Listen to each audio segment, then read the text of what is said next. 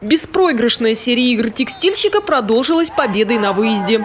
В понедельник в городе Вологда наша команда встретилась с одноименным клубом.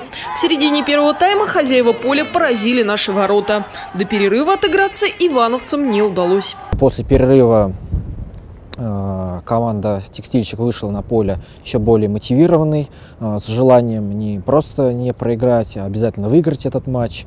Э, были опасные моменты у Александра Брунова, он ударом головой попал в перекладину. У Анзора Саная в упор расстреливал ударом головой вратаря, тот выручил свою команду. Но в итоге дважды удалось отличиться одному игроку текстильщика – Андрею Хребкову.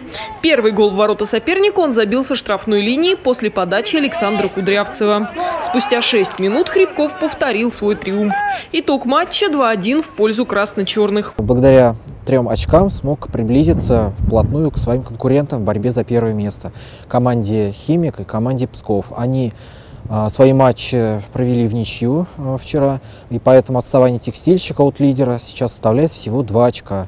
Поэтому уже в ближайшей игре 2 мая в Костроме против «Спартака» у текстильщика есть шанс выйти на первое место. Но это получится только благодаря поддержке наших болельщиков, которых мы ждем 2 мая в 5 часов а, в Костроме чтобы они поддержали нашу команду. Костромской «Спартак» – сильный соперник. И поддержка ивановских болельщиков очень пригодилась бы текстильщику на чужом поле.